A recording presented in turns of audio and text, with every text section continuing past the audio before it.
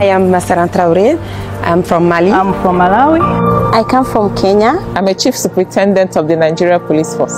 And I'm from Monrovia, Liberia. I just finished my contract with the ECOWAS volunteer program in Liberia.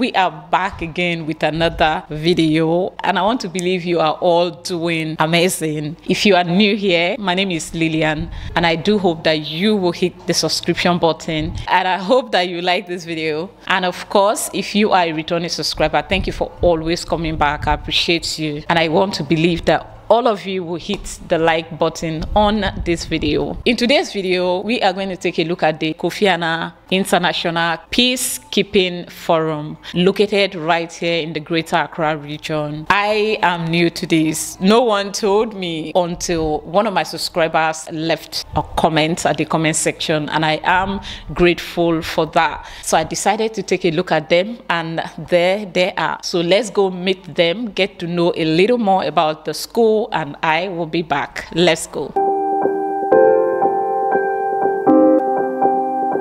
Welcome to the Kofi Annan International Peacekeeping Training Center, KAIPTC, one of three regional training centers of excellence, mandated by ECOWAS for training and research in conflict prevention, management and peace building. Established in 1998 and commissioned in 2004 by the government of Ghana, KAIPTC is mandated to train military, police and civilian personnel for multidimensional peacekeeping and peace support operations in West Africa and the rest of Africa. The vision of KAIPTC is to become the leading and preferred international center for training, education, and research in African peace and security. Its mission is to provide globally recognized capacity for international actors on African peace and security through training, education, and research to foster peace and stability in Africa. Driven by these, KAIPTC over the past decade has trained over 14,000 individuals from over 90 countries and major organizations in Europe, North and South America, Asia, and Africa.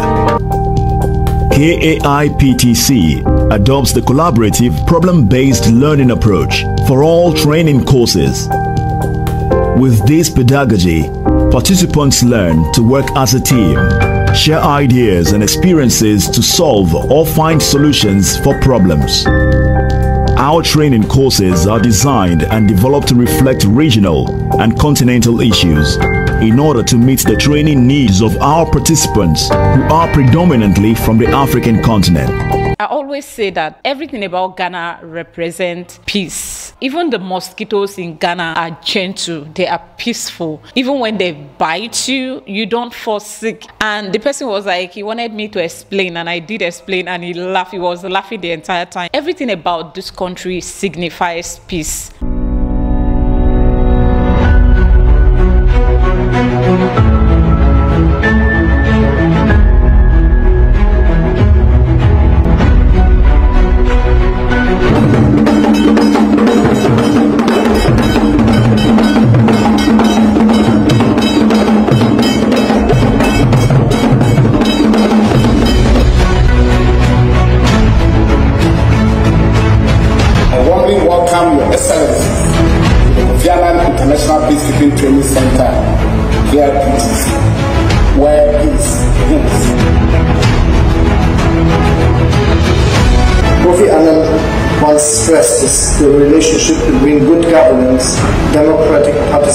and peace to the gods.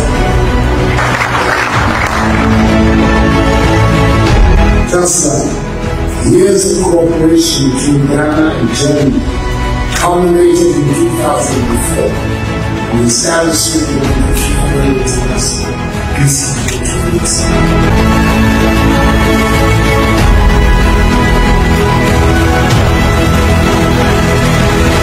I mean, I'm talking about this. This is a school that people from around the world comes to study about peacekeeping and peace management, go back to their own countries to implement it. Uh, women have been shortchanged in the in issues of security. They're always looked upon like people that don't have anything to contribute. One of the problems we have mostly in Africa is the fact that women are marginalized to get to that strategic decision making position.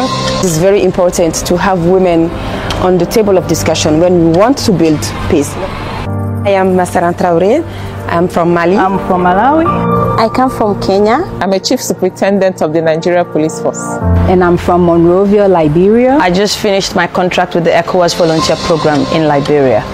Before I came here, I've been this laid back type. I've been this stay whatever they bring up, let's go to, to let's go into it. But after the training, the first one we have uh, had 2019, I was able to be outspoken.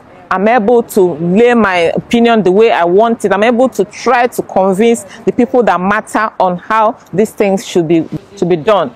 So it's I've gained so much. I've uh, gained confidence in my in, in my work performance, which I used not to have in the past. I've also gained courage in whatever I'm doing, especially uh, at my office. At first, I wasn't like that. I was even failing to give guidance to the people that I was leading. My name is Martina Berger. I am an Austrian lawyer and have studied law and international development in Madrid, Paris, and Vienna in Austria. I first came to know about the KAIPTC through its cooperation with the Austrian Study Center for Peace and Conflict Resolution. So from there, I already knew it's a center of excellence that combines both. It's a world-class academic institution, while I can learn here from experts in the respective field that have a long, long practical experience in the area that they are working in. Alors, je m'appelle Julienne Fallon Bois, je suis camerounaise, étudiante à l'Institut Kofi Annan Peacekeeping Training Center, où j'étudie euh, le Master in Gender Peace and Security. J'ai appliqué pour le cours. Après mon, ma licence en droit, j'ai voulu euh, faire un master en sciences sociales et puis aussi un petit peu en conflict management. Du coup, je suis allée un petit peu chercher sur Google et puis je suis tombée sur KAPTC. Et j'ai vraiment beaucoup aimé ce qu'ils euh, en master. Et puis voilà, je me suis inscrite et puis j'ai été retenue. Alors mes hobbies, ici à Accra, j'aime aller à la plage, j'aime visiter la plage, la Badi Beach. J'aime aussi aller à Accra Centers où je peux acheter des boubous, euh, des, des sacs, affectueux, j'aime beaucoup. Non, franchement, rien. J'avais aucune information par rapport à ça. C'est vraiment parce que je suis allée sur Internet. Je, voilà, j'ai tapé master. J'ai mis master en droit international et puis je suis tombée sur KFTC et puis j'ai regardé. There are so many things that I'm getting to discover in Ghana, and as they come, um, it's always a pleasant surprise for me, and I love. So we are going to go back to the school. Available data indicate that 3.5 billion people representing some 40% of the world's population, live in places, including Africa, that are highly exposed to the impacts of climate change. We're talking about migration in Africa. So I think we cannot only look into from the European perspective of migration, where you always see that, you know, migration has become a very important aspect. Of course it is for the European countries, but we have, to, if it is an African migration issue, we can't neglect the inter-African migration which is taking place uh, at this time. We have to transform. We have to have a new mindset. We need to have a transformative uh, way of donors' assistance. Africans must be at the epicenter of their development, of their issues. We have all of the resources left, or maybe, maybe let me say 60% of the resources of the world left on our continent. What are we doing with it? Ghana, we have embarked on a very good system. Our card, the Ghana card, has a lot of features on it. And uh, indeed, it's a standardized uh, card uh, developed by ECOWAS. And if we could all adopt it and register nationals and non-nationals. Éviter les exclusions, toutes sortes. Exclusion politique, exclusion démocratique, exclusion économique, exclusion sociale, exclusion sécuritaire. The history of Africa is based on the culture, on our tradition, and our, our religion.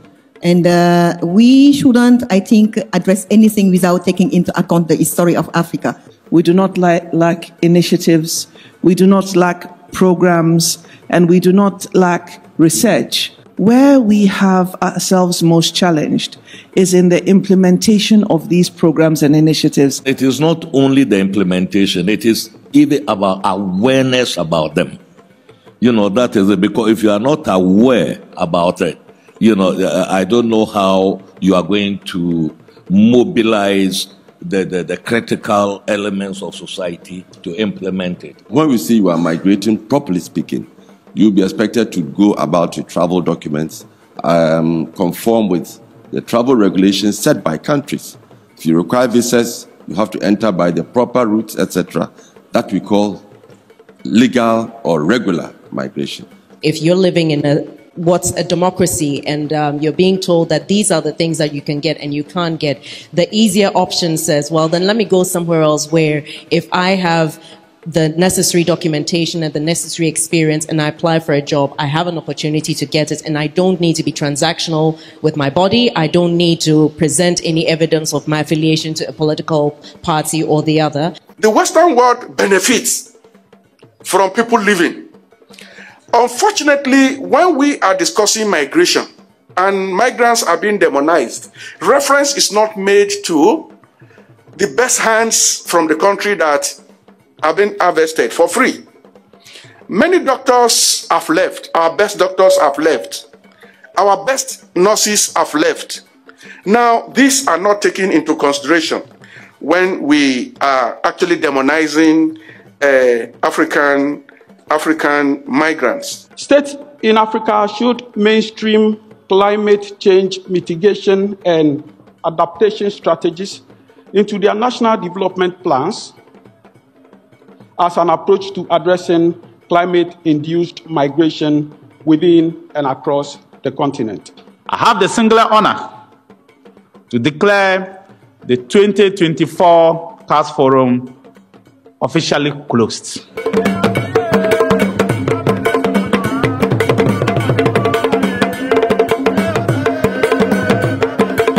Ghana is living up to her role, the big brother role in Africa, the first West African state to gain independence.